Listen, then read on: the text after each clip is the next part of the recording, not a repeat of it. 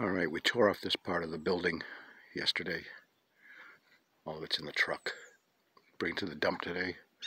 Gonna tear off this half today. I'm gonna start building. Reframe it.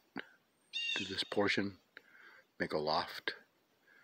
And tear off that tin roof. Like all that stuff came off there.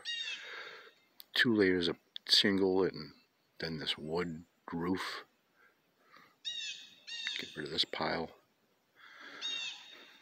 Yep. Should go up within the next week. We'll take care of this uh, other half of the roof today and get it ready to dump tomorrow morning.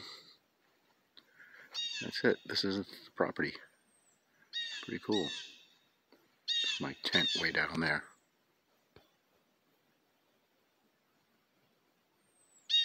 Yep. He owns 11 acres here. There's about 10 acres down this way.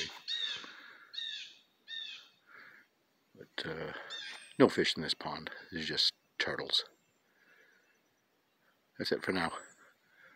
Show you when it's done.